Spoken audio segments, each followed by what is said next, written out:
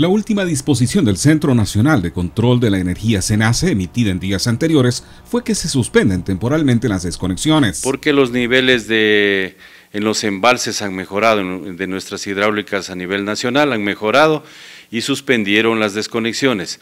Eh, por este motivo nosotros eh, seguimos manteniéndonos, eh, seguimos manteniendo que no, tenemos desconexiones a nivel del área de concesión. Sin embargo, se exige que cada empresa eléctrica tenga listos los cronogramas en caso de ser necesarios. Incluso la Lundin, que era la que nos estaba apoyando en este caso, nosotros no le estábamos dando energía a ellos para que ellos se autoabastezcan, este, igual ha dejado de generar su propia energía.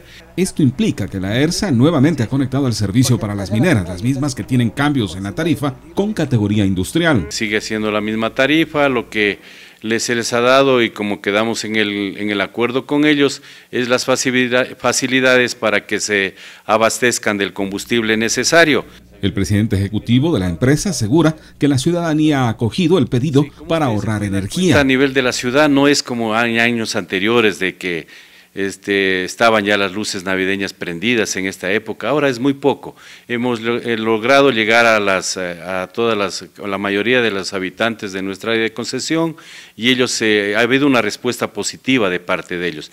Nosotros sí, si hay ahorro. Sobre cambios en la administración se señala, no hay nada definido. Hay cambio de gobierno y tienen este, todo el derecho de de hacerse cargo de las instituciones públicas, ¿no es cierto?